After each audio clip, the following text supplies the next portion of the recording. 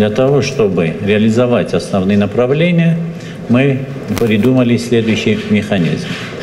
Основные направления определены в четырех сферах. Первое – это цифровая трансформация отраслей и кросс-отраслевая трансформация. Второе направление – это оцифровка наших общих рынков. Третье – это оцифровка инфраструктур. И четвертое – оцифровка системы управления.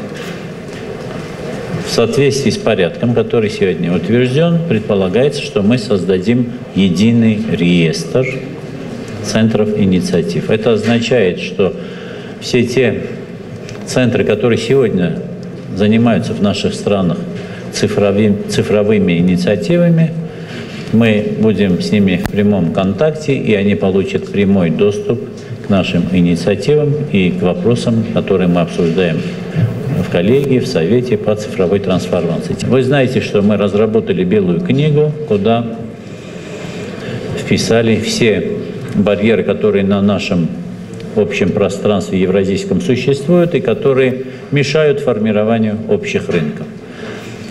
С одной стороны, такая ситуация сложилась, потому что Республика Армения, Республика Казахстан и Киргизия имеют эти изъятия в соответствии с союзными договорами, а также в соответствии с э, вступлением во Всемирную торговую организацию, и есть определенные э, таможенные тарифы, которые расходятся от общих тарифов. И понятно, что формирование общего рынка в условиях разных тарифов не может быть. Для этого нужно время, чтобы мы бы вот этот переходный период завершили и сформировали бы общий рынок. А этот переходный период нужен был для того, чтобы мы бы для нашего бизнеса создали бы более мягкие условия в процессе вступления в Евразийский экономический союз.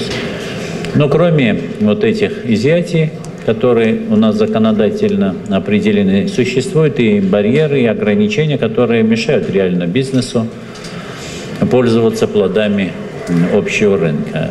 И мы договорились с главами правительств, что коллегия ежеквартально будет представлять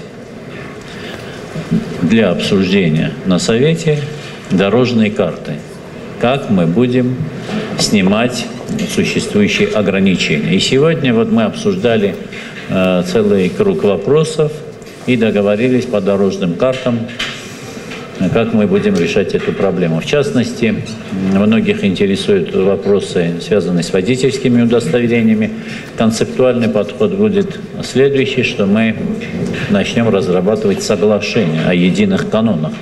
Потому что в сфере водительских удостоверений будут происходить фундаментальные изменения, связанные с тем, что происходит э, оцифровка в том числе и транспорта, э, появляются новые машины, относительно которых водители должны иметь новые знания – беспилотные машины появляются, смешанные машины, пилотные и беспилотные, то есть которые могут автоматически переключаться на беспилотный режим, а потом с беспилотного на пилотный режим. И это означает, что водители должны иметь специфические новые знания, в том числе и в цифровой экономике. И поэтому вот эти принципы должны быть едиными.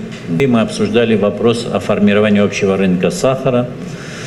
Здесь сложилась непростая э, ситуация, о которой докладывал министр сельского хозяйства Российской э, Федерации, и дано поручение коллеге провести исследование этой темы с точки зрения формирования общих подходов, в частности, относительно завоза сырья для производства сахара на нашу общую территорию, э, с тем, чтобы мы бы не подрывали основы производства сахарной свеклы, которая есть в наших странах, потому что э, получается сегментация нашего рынка э, на разные виды сахара, получаемые с разного э, сырья, и как урегулировать ситуацию, чтобы была бы равная конкуренция и не ущемлялись бы в том числе и права производителей сахара, который используют